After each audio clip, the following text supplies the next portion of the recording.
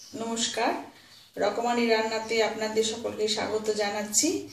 আজ আমি শিবরাত্রি স্পেশাল একটা মিষ্টি খাবার বানিয়ে আজকে দেখাবো মুগের হালুয়া। আপনারা সকলেই এটা দেখেছেন হয়তো, কিন্তু আমি অনেকবার করেছি, এখানে আপনাদের কাছে নিবেদন করলাম। আপনারা যদি খেতে চান তাহলে এই রেসিপিটা বানাবেন। আর করবেন। আমি আজকে বানিয়ে দেখাচ্ছি। যদি ভালো লাগে তাহলে লাইক শেয়ার করবেন আর আমার চ্যানেলকে সাবস্ক্রাইব করবেন। মুগ হালুয়া বানাতে লাগছে। মুগের ডাল আমি চার ঘণ্টা ভিজিয়ে রেখে মিক্সিতে পেস্ট করে নিয়েছি। একদম মিহি করে পেস্ট করা হবে। এটা নিয়েছি এক কাপ চিনি এক কাপ মাখন, আর এটা হচ্ছে খোয়া ক্ষীর, এটাও খানিকটা নিয়েছি। আর মাখনটাও মুগের ডালটা, চিনিটা, পরিমাণ এক হবে। আর তার সঙ্গে লাগছে ড্রাই ফ্রুট, যদি আপনাদের ইচ্ছে হয় তবে দেবেন। আমার ভালো লাগে তাই আমি দিয়েছি। আর এলাচের গুঁড়ো, এ লাগছে। একটু গরম জল লাগবে সঙ্গে।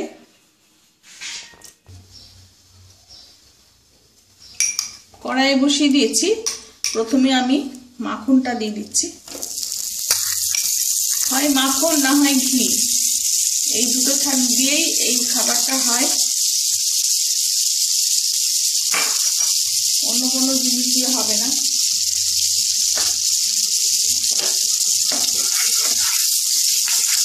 মাখনটা একটু গলে গেলে আমি মুগের ডালটা দিয়ে দেবো।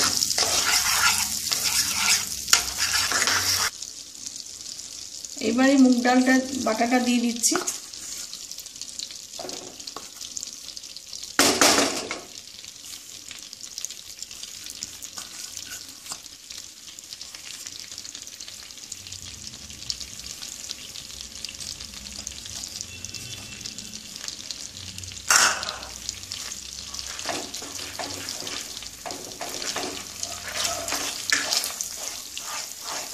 এটা নাড়তে হবে।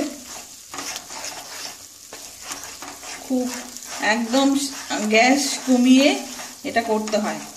অনেকটা সময় লাগে, কিন্তু খেতে খুবই অপূর্ব জিনিস হয়। শিবরাত্রির দিনে যারা উপোস করেন, উপোস ভাঙার পক্ষে এটা খুবই ভালো মিষ্টি খাবার।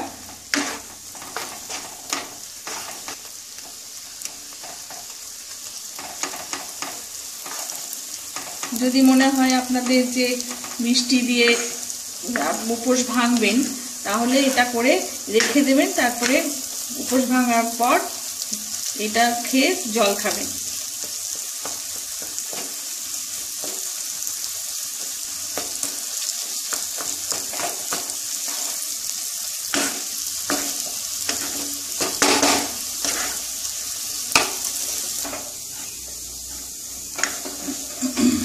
এবার আমি চিনিটা দিয়ে দেবো।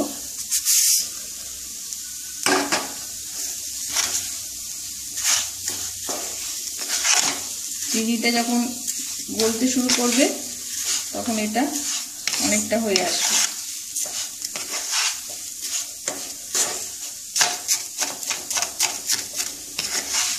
এটা সময়টা লাগে অনেকটা, আস্তে আস্তে হয়তো গ্যাসটা কমানো থাকে, ওই জন্য একটু সময় লাগে।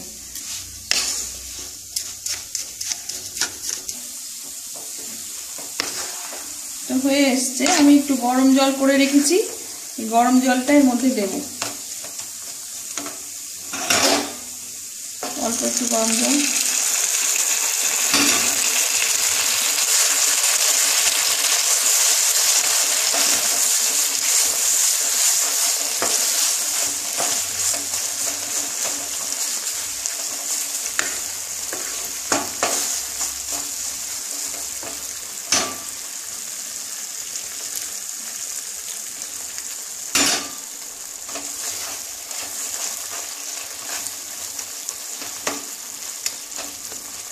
একটু সেদ্ধ হবে ডাল বাটাটা।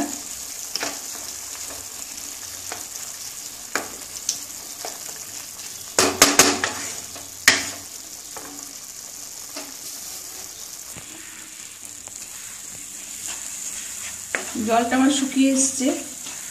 অল্প অল্প আছে, এর মধ্যে খোয়া কিটটা দিয়ে দিলাম।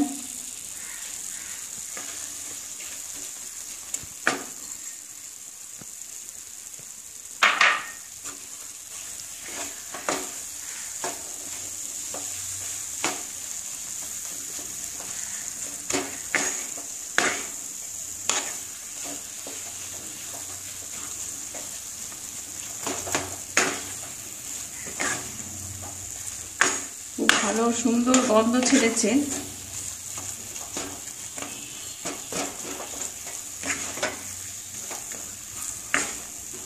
যে কোনো পুজো পার্বণে শিবরাত্রি বলে নয়, যে কোনো পুজো পার্বণে এটা করে দিলে একটা ভালো পদ মিষ্টির তৈরি পাওয়া যায়।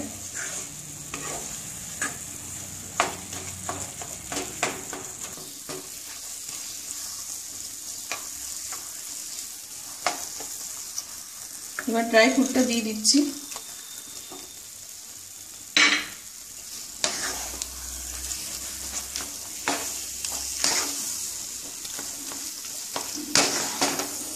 কড়াই থেকে ছেড়ে আসছে।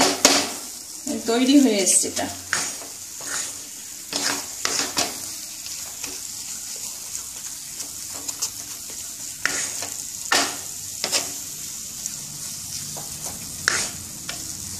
তাহলে আমি আস্তে আস্তে নামিয়ে দেবো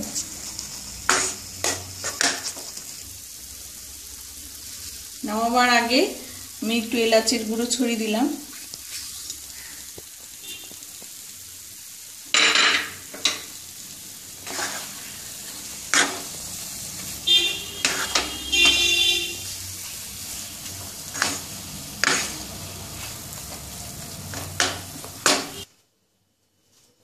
মুগ হালুয়া বানানো আমার হয়ে গেল।